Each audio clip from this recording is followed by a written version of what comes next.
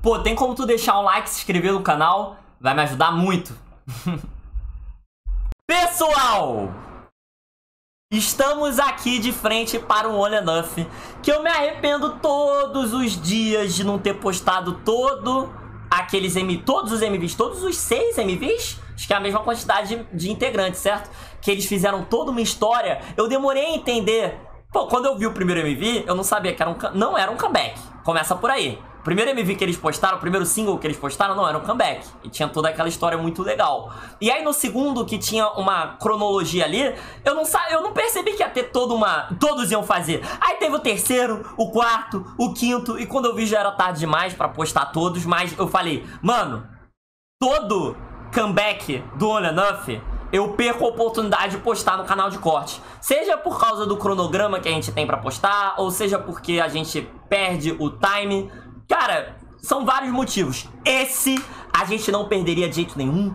Eu gostaria de falar sobre um dos grupos que tem um conceito mais diferente dentro do K-pop. Eu não vejo nenhum grupo parecido com o Enough. E não tem nenhum problema em todos os grupos que bebem do mesmo conceito. Afinal, a música é feita de tendências e você tem que surfar nelas. Isso é inteligente. Mas é louvável o Enough ter um conceito tão diferente assim. Eu acho bem interessante o que eles fazem. Não vou mentir para vocês, não sou o maior fã. É, não é que eles não, eles não saem da minha, do meu top do Spotify, mas eu acho um grupo interessante pra gente prestar atenção. Muitos acham que é, o crescimento do Olenuff é perceptível daqui a um tempo. E eu acho que é um grupo pra gente ficar de olho. E que a gente não pode deixar de comentar aqui na live. Perfeito? É, gosto das coreografias. Achei o tema desse comeback interessante. Não sei como eles vão colocar um pouco do conceito deles aqui. Uma coisa eu tenho certeza. Acho impossível a gente não enxergar muito de One Enough nas músicas do One Enough. E vai lembrar, né? Eles eram da BBC. Empresa que não tem muito, muito carinho aí.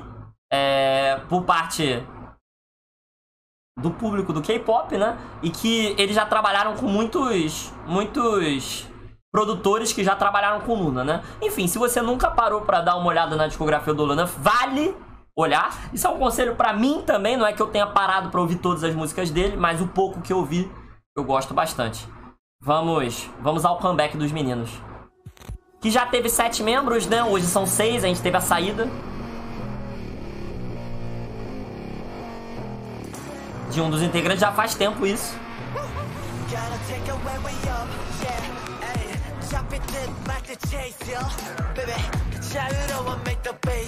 Os cabelos deles são muito lindos.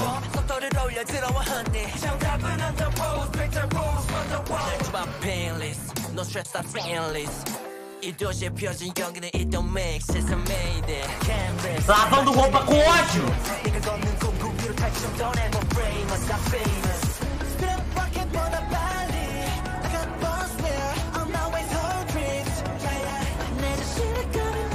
Cara, boa transição.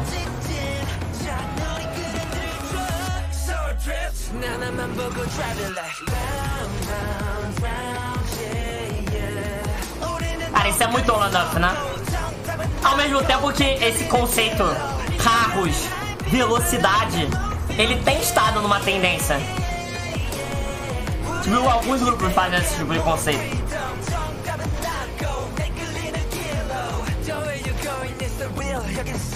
Essa tela veja Olha. vê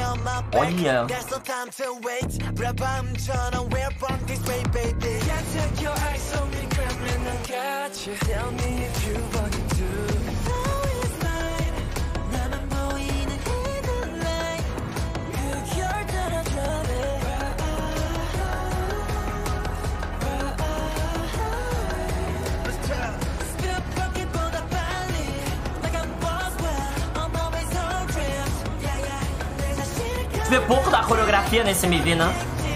É uma das coisas que mais me chama a atenção no olhador. É bem visual. Legal o pezinho. Oh! Headset Gamer!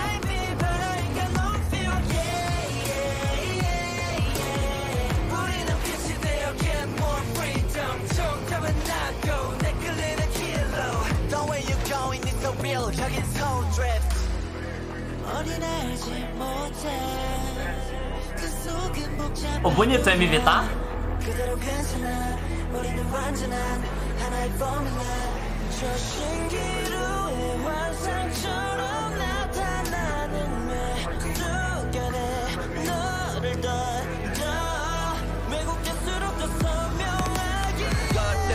Pô, bonito o MV, tá? 속도 짧아 밖은 slow show 기타는 누보 정답은 나고 내 끌리는 길로 The way you're going is the real 적인 soul drift Tá lá, solo. Foda-se. Dance break.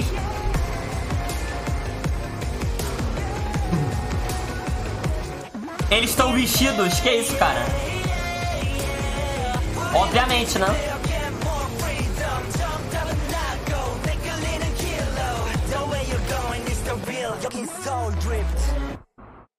Mano, pô, parando pra pensar enquanto a gente vê o MV, vamos terminar ele aqui, pra dar uma voltada, eu quero comentar algumas coisas do MV com vocês. Não é como se a empresa do Enough tivesse muitos recursos. Ele, esse, esse conceito me parece um conceito barato de se fazer e de fazer bem, sabe? Tirando os carros, que deve ser metade do orçamento do clipe, se não todo o orçamento do clipe. Pô, gravar nas ruas, gravar em alguns cenários assim, não me parece tão caro. E a única tela verde que eles usaram ficou que é essa, ficou bem bonito, mano. Ficou bem bonito.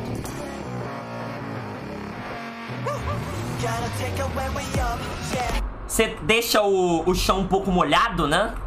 Isso já dá um efeito muito legal. Eles desfocaram um pouco o fundo, ficou bem bonito, mano. 잡힐 듯 말 듯 chase up Cenário um pouco industrial, né? 자유로워 make the bass up Quase cyberpunk. 터뜨려봐 속도를 올려 들어와 honey 정답은 Passa um pouco essa impressão cyberpunk por causa das luzes, né? No stress that's endless 이 도시의 표준 여기는 it don't make sense I made it Canvas 맞춰진 내 aim shoot 네가 걷는 공구 위로 탈춤 don't ever break E, e a música tem, tipo assim, esses graves eu sinto que é muito one enough também. Mas. é, a música acaba, acaba ficando muito. Muito. Muito porrada, vou usar essa palavra, porrada, justamente por causa desses graves. É muito louco que a gente já ouviu algumas músicas com conceito mais sexy, mais tranquilos, com graves assim. Cenários, ruas de Gotham. A Gotham é muito escuro, né? Não é tão colorido assim. Ou vocês acham que é? A Gotham do Batman.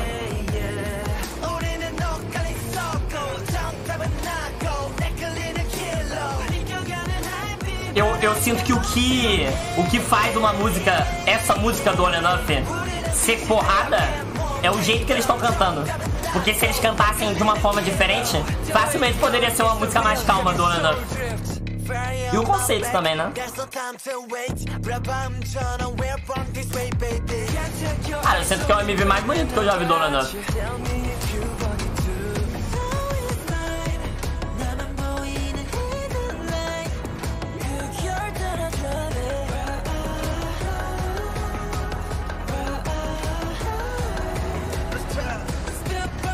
E atuam, né? Eles parecem ser bons atores em seus MVs.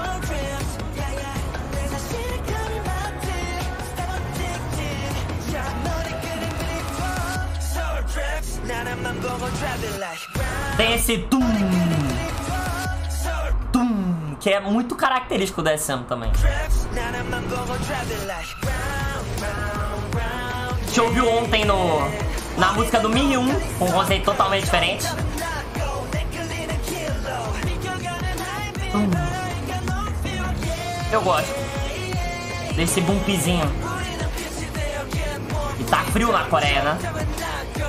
deve ter gravado recentemente.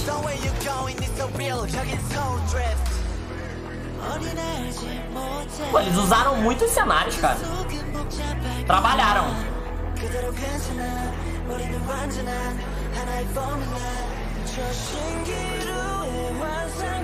O instrumental é bem porrado, é o BPM torando a música toda assim.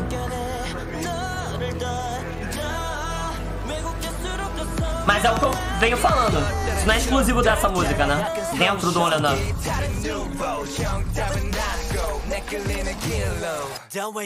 인 Essa música é bem On and Off.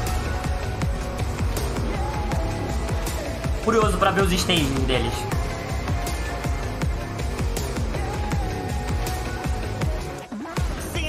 É maneiro ver eles com esse figurino meio street. Além desse vermelho aqui que terninho clássico. Eu voltei na hora que apareceu. Essa roupa é muito clássica deles. Eu tô, tô ansioso pra ver eles dançando em outro figurino. Gostei muito da música. Que bom, Rod. Que bom. Ele já tem uma discografia interessante. Semana inteira, menos na segunda e na sexta, a gente faz lives ao vivo lá na Twitch. Então fica ligado porque a gente manda três vídeos por dia pra cá pra que você conheça o meu trabalho. Tamo junto!